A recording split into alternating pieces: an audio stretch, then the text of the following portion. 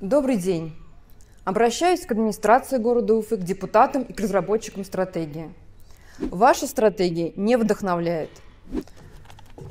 300 страниц статистики и перечень каких-то программ – это не стратегия развития. Вы знаете, что делать, чтобы наш город развивался?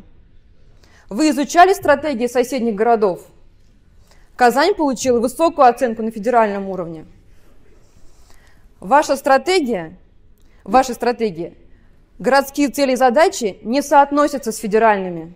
Перед государством стоит задача повысить количество занятых в малом и среднем бизнесе до 25 миллионов человек. Какую цель мы хотим достичь в Уфе? И как? В стратегии только общие слова. Рост количества, активация занятости и популяризация. И так по всем направлениям. Возьмем здравоохранение. Федеральная цель – ликвидация кадрового дефицита в медицинских организациях и снижение смертности. Вот и этот реферат утверждает, что да, в Уфе не хватает медработников. И какова же наша стратегия по решению этой проблемы? А ее нет. План администрации – это строить новые медицинские учреждения и вести профилактику. Господа, а как мы будем смертность снижать, если нас лечить некому? Далее.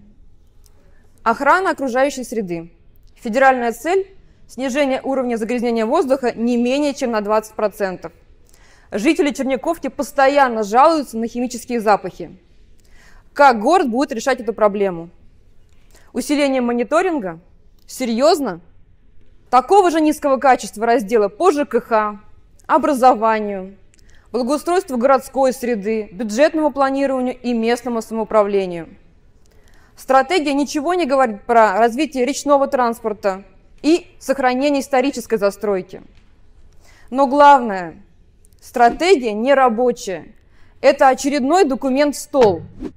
Он не содержит никаких изменений, не учитывает будущие вызовы, не оценивает текущие потребности и ценности жителей Уфы.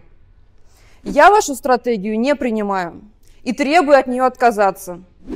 Я также требую изучить передовые стратегии зарубежных российских городов и разработать новую стратегию прекрасной Уфы будущего.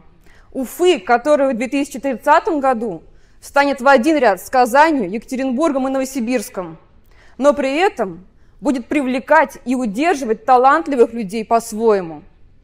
Благодарю за внимание.